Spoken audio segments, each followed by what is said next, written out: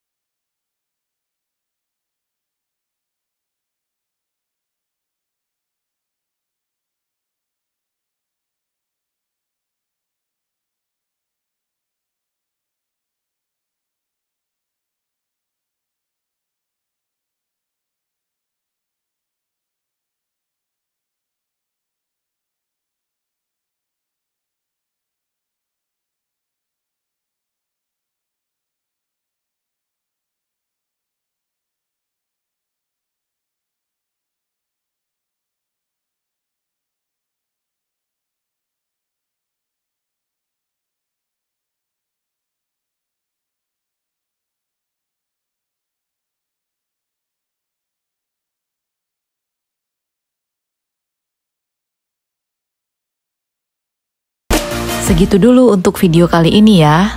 Thanks for watching and enjoy your life.